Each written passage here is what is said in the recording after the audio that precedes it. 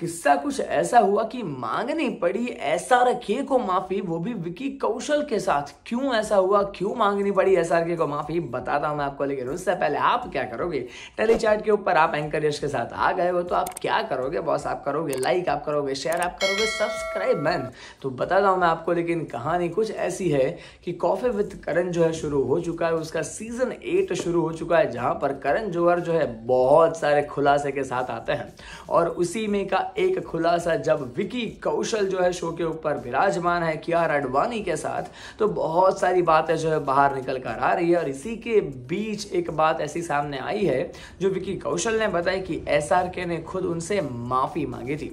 उन्होंने बताई कि जब डंकी की शूटिंग हो रही थी, तब डंकी की शूटिंग के टाइम पे कुछ ऐसा मामला हुआ कि हम लोग शूट कर रहे थे और शाहरुख खान को सडनली दिल्ली जाना पड़ा एक काम के लिए और वो भी ऐसा काम था कि वो डिले नहीं हो सकता था। And hence he went away और उसी दिन कुछ ऐसा था कि एक बहुत ही इंपॉर्टेंट शॉट लेना था आ, उनके साथ मेरा।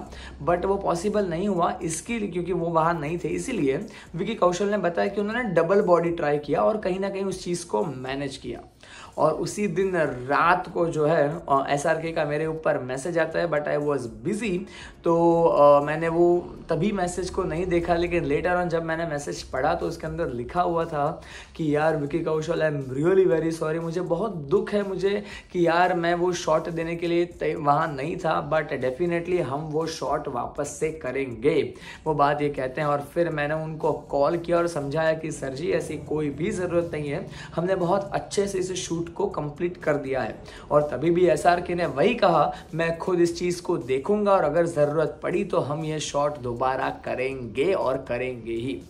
विकी कौशल उसके बाद कहते हैं कि इस तरीके से शाहरुख खान के साथ सेट शेयर करना उनके लिए बहुत बहुत बहुत ही ऐसे कहते हैं कि मिरेकल वाली बात थी।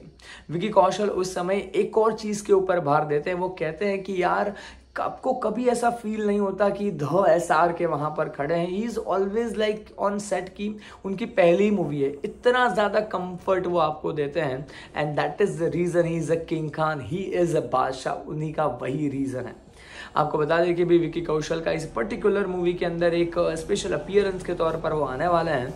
एंड उसके बाद जो है वो कितना मज़ा आने वाला है, वो तो भी ढंग की रिलीज़ होगी, तभी पता चलेगा। आपको बता दें कि भी इक्कीस दिसंबर को रिलीज़ होने वाली है फ़िल्म आप भी देखना मत भूलेगा डंकी क्योंकि उसके अंदर तापसी पन्नू, शाहरुख खान, बमन ईरानी, धर्मेंद्र, बहुत सारे एक्टर्स उसके अंदर है। तो आपको मिलने वाला है बहुत ही ज़्यादा एंटरटेनमेंट का पंच इस मूवी को देखने के बाद तो देखना मत भूलेगा on twenty of December meanwhile आप क्या करोगे? आपको लाइक करना है शेयर करना है सब्सक्राइब करना है टेली चार्ट को मेरे यानी कि एंकर यश के साथ फटाफट राइट नाउ